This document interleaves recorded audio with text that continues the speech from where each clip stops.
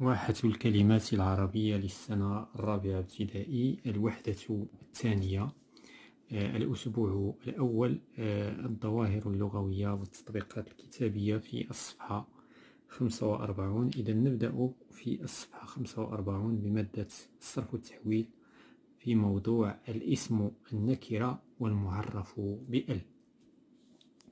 إذا ألاحظ وأكتشف أخذتنا مدرستنا إلى المعرض الدولي للنشر والكتاب فكنا ننتقل من رواق إلى رواق ومن عارض إلى عارض فهذا طفل يقرأ كتابا وذاك الطفل يتصفح قصة.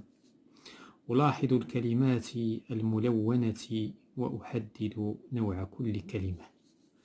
إذا أنواع الكلمة بطبيعة الحال هل هي اسم أم حرف؟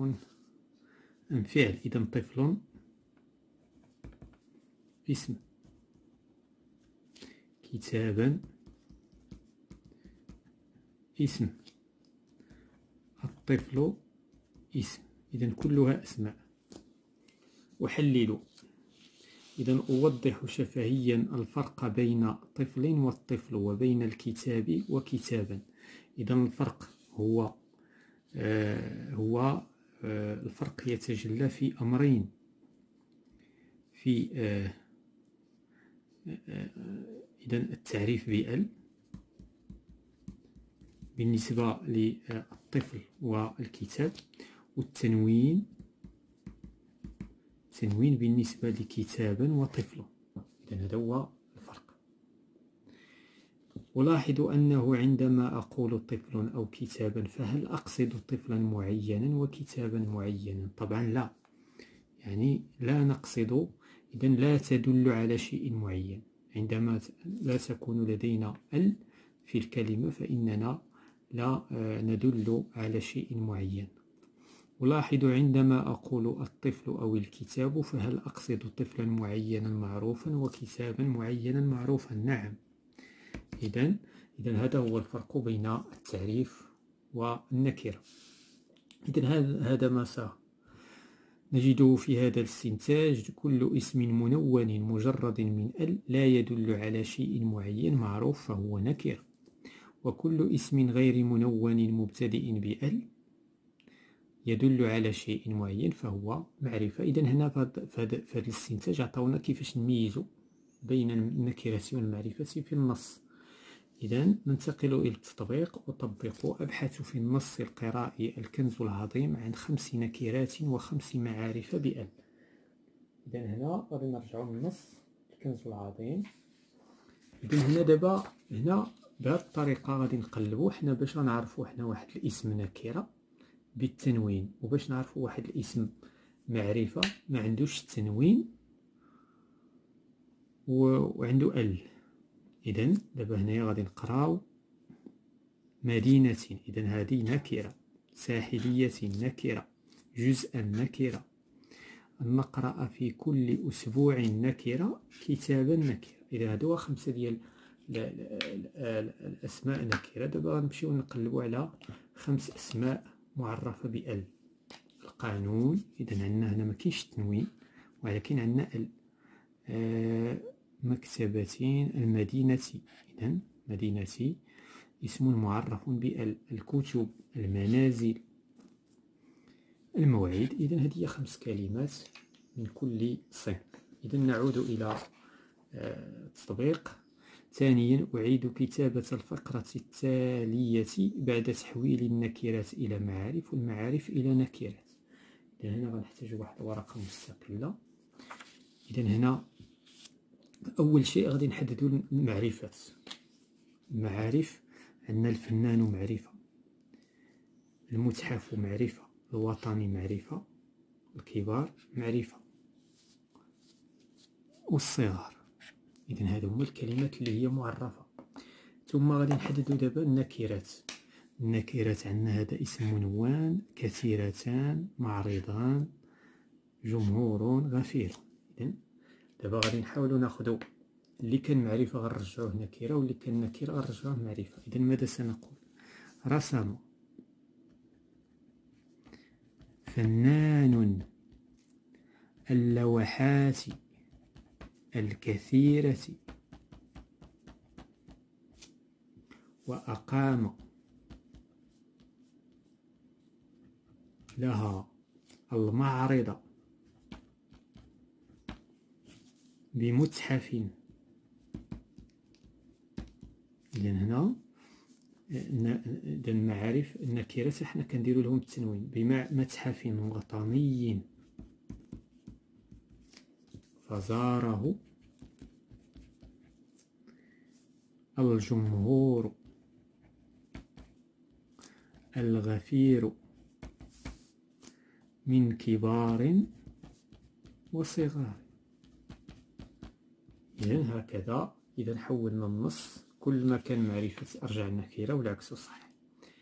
إذا ننتقل إلى ثالثا. أرصد في الأبيات الشعرية النكرات والمعارف ثم أصنفها في جدول. إذا حنا غنلونوها فقط. إذا اللي معرفة غنلونوه بالأحمر بالأخضر. إذا هنا المنظر معرفة. العرف الأحمر. آه هنا للنوم النوم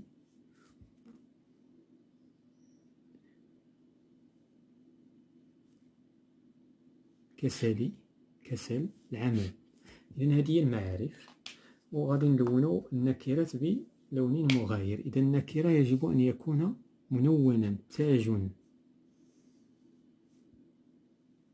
عال.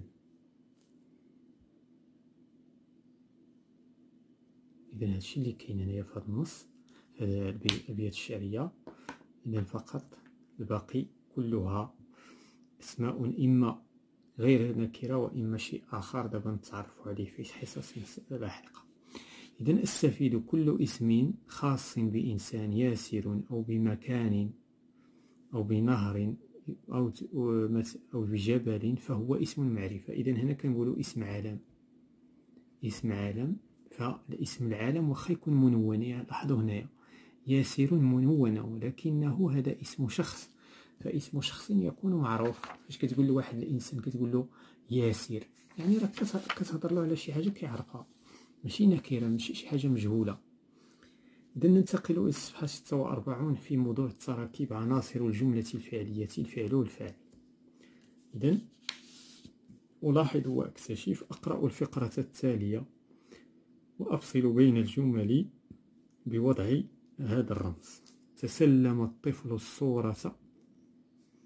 هذه جملة.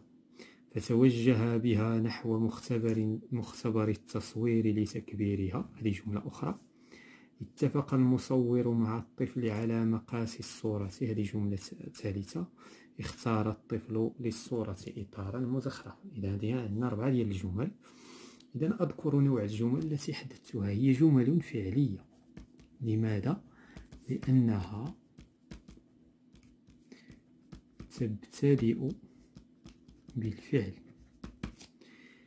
وأطر شفهيا الجملتين باسم اسم فعل. إذا هذا فعل تسلم لأنه يتصرف في الماضي والمضارع. الطفل اسم لأنه معرف. الصورة اسم لأنه معرف. الطفل اسم تسلم فعل الصورة اسم. إذا هنا هي نفس الجملة. أقارن بين الجملتين وأحدد نوع كل منهما مع التعليل مع تعليل ما توصل إذا هذه الجملة فهي فعلية وهذه اسمية. لماذا اسمية؟ لأنها تبتدئ باسم وهذه تبتدئ بفعل. إذا هذا هو التبرير.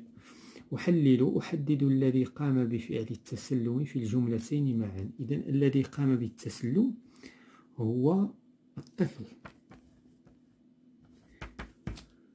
في أي الجملتين تقدم الفعل على الذي قام به؟ في الجملة الفعلية أم الإسمية؟ في أي تقدم الفعل. إذا الفعل تقدم في الفعلية.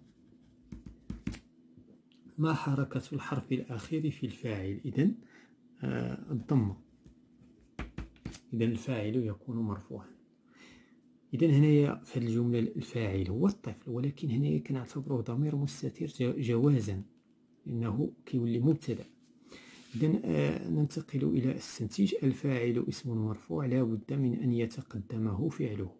إذا باش يكون عندنا الفاعل ظاهر خصنا يكون الفعل هو الأول.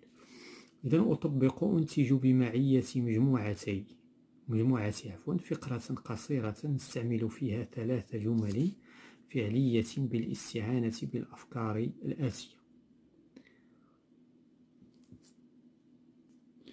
إذا هنا عندنا إنتاج واحد الفقرة عندما افتتح معرض الكتاب الجمل خصها تكون فعلية أبوابه قمنا بزيارته فزرنا أروقته ونحن نتصفح كتب الأطفال. خاصة وفي نهاية الزيارة اشترينا بعض القصص التي أعجبتنا. إذن آه، استفيد يبقى الفعل مفردا إذا تحول الفاعل إلى المثنى أو الجمع. نعم. إذا هنا واخا كيتحول هذا هذا. لماذا؟ لأن آه، هنا الفاعل حاضر. يكون كان الفاعل غايب واخا. آه، إذا فاش كيكون الفاعل ظاهر. إذا ننتقل إلى الإملاء في سبعة وأربعون همزة الوصل والقطع. ألاحظ وأكتشف. إذا هنا السؤال أحدد الحرف الأول في الكلمات الملونة. إذا هنايا عندنا استعمل الحرف الأول هو الألف. والحرف الأول هنايا هو الألف ثم هنايا هذه. إذا همزات هي ثلاث همزات هنايا همزة وصل هنا همزة قطع هنا همزة وصل. إذا أحلل أعيد قراءة النص وأحدد الكلمات التي لا أنطق همزاتها وأبين لماذا. إذا غادي نقراو هنا النص. هنا هاد الهمزة مادام في البداية نقرأها إذا نقول استعمل الإنسان. هاد الهمزة لا, لا تقرأ. إذا هاد الهمزة اللي ما غاديش تقرأ غادي نديرو عليها واحد الخط. إذا هاد الهمزة لا تقرأ. الإنسان القلم لا تقرأ لا تنطق. اخترع لا تنطق. الكتابة لا تنطق. ولأهميته هذه تنطق. إذا هذه تنطق. القلم لا تنطق. في تلقي العلم هذه لا تنطق. أول تنطق ماذا؟ إذا همزة إذا هذه جاي في الأخير وهذه تنطق. لماذا؟ لأنها جات في أول الآية. إذا هذه لا تنطق. هذه لا تنطق. هذه تنطق لأنها جات من بعد الفاصلة اقرأ وربك الأكرم. الذي علم الأكرم إذا الأكرم لا تنطق. الذي القلم إذا هادو اللي ملونين بالزرق همزات لا تنطق. إذن التي لماذا؟ لأنها همزات وصل. لأنها همزات وصل في وسط الكلام. همزة الوصل في وسط الكلام لا تنطق. همزة الوصل تنطق في بداية الكلام كما هو الشأن هنا وكما هو الشأن هنا. أما همزة القطع فتنطق في وسط الكلام وفي آه في وسط الجملة أو في, في, في, في أولها. هل تكتب هذه الهمزة عندما لا تنطق؟ إذا تكتب ولكنها لا تنطق. أجرد الكلمتين التاليتين من أل ثم أنطق همزتيهما. إذا إنسان. إذا تنطق. أكرم. إذا همزة قطع. أحدد في أي موضع تكتب الهمزة وتنطق. إذا في أي موضع؟ إذا همزة القطع.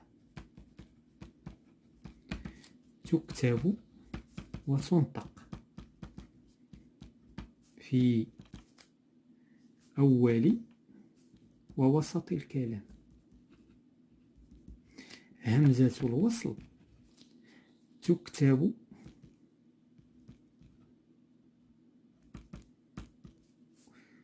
وتنطق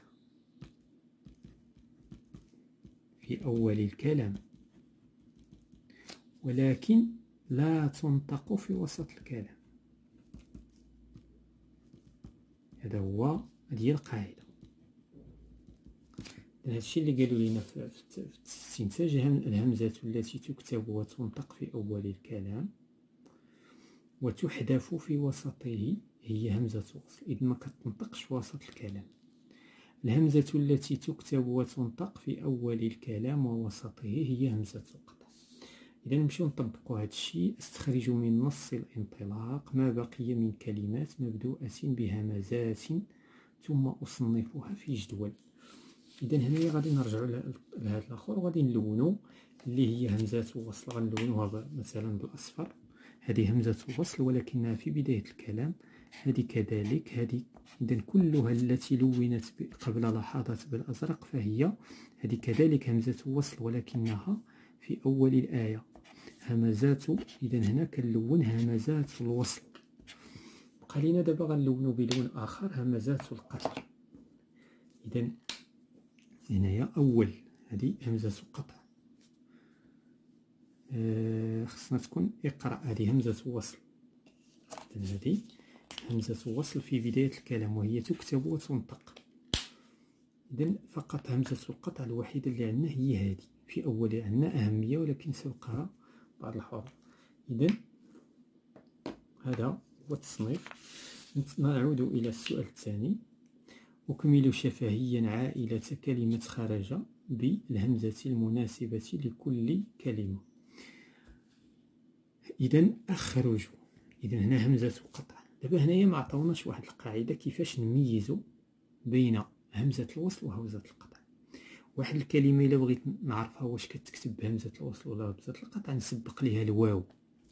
هنا وأخرج ما نقدرش نقول إلا تنطقات نسبق ليها الواو ولا الفاء.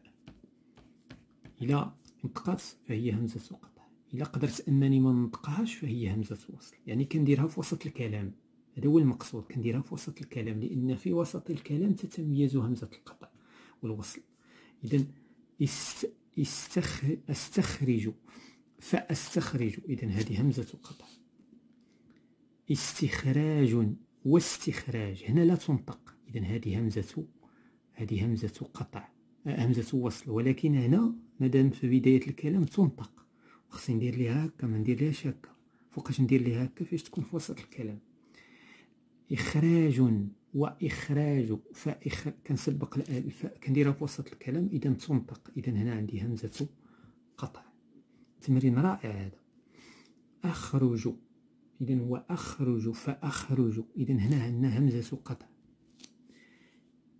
استخرج واستخرج لا تنطق. إذا هنا همزة همزة وصل. أخرج وأخرج فأخرج. إذا تنطق إذا هذه همزة قطع. إذا هذا هذا التمرين يجعلنا نميز بين الهمزتين. للتمييز بين هما عجبوا القاعدة. للتمييز بين همزتي الوصل والقطع أضع حرفا قبلها. إذا كنديرها في الوسط كما قلت لكم. الواو ولا الفاء ولا الكاف. فإذا اختفت الهمزة فهي وصل وإذا لم تختفي فهي قطع. إذا ننتقل إلى التطبيقات الكتابية. لنعود لهذه الهمزة في حصة لاحقة. أقرأ النص قراءة صامتة أسجل خلالها الكلمات الصعبة. إذن هنا القراءة فن يكتسب بالتدرب والتمرن ورب قارئ لم يخرج من كتاب إلا بعنوانه. أما القراءة بمعناها الصحيح فهي أن تكون حوارا صامتا بينك وبين ما تطالعه. صور لنفسك أن الكتاب الذي بين يديك هو إنسان يحدثك بما يرى فلا بد أن تنصت وتحسن الإنصات. اقرأ وناقش ما قرأته ثم طبق ما قرأته لترتقي في الحياة. إذا أطبق أستخرج من النص ثلاث أمثلة من كل نوع اسم النكرة واسم معرف بأل. إذا غادي نلونهم كما العادة. إذا الاسم آه النكرة إذا باش كنا كنعرفوا النكرة بالتنوين. إذا غادي نبحثوا على كلمات فيها تنوين. فن إذا هذه نكرة آه نكرة صامتا نكرة إنسان. نكرة إذا هادو هما ثلاثة ديال النكرات بالنسبة للمعرفة واضحة. إذا هنا خصنا ألف واللام وميكونش التنوين إذا التمرن. إذا هذا معرفة. قراءة معرفة إذا الكلمات معرفة موجودة بكثرة في النصوص أكثر من النكرة إذا أنقل الجملة التالية إلى دفتري ثم أحولها إلى جملة فعلية مع إظهار الفاعل بلون مغاير إذا غناخدو هاد الجملة. اكتساب القارئ للقراءة بالتدرب. إذا يكتسب يكتسب القارئ القراءة بالتدرب. إذا أين هو الفاعل؟ فالفاعل هو اسم مرفوع وهو الذي قام بالفعل. إذا هو غالبا كيكون مرفع غالبا ماشي ديما. إذا هذا هو الفاعل. آه، أنتج أعبر بثلاث جمل فعلية عن كتاب أعجبني ثم أربط بينها لأكون فقرة. هنايا اختاريت واحد النموذج فقط. إذا هنا غادي تحط الكتاب اللي عجبك. وغادي تهضر عليه. كتاب متميز من أفضل الكتب التي قرأتها وتعلمت منه الكثير. وقد ترك بصمة في حياتي وكل مرة أعود لقراءة بعض الصفحات التي أعجبتني. إذا هذه بعض الجمل. إذا هذا كل ما يتعلق بهذه الظواهر اللغوية والتطبيقات الكتابية من كتاب واحة الكلمات العربية للسنة الرابعة ابتدائي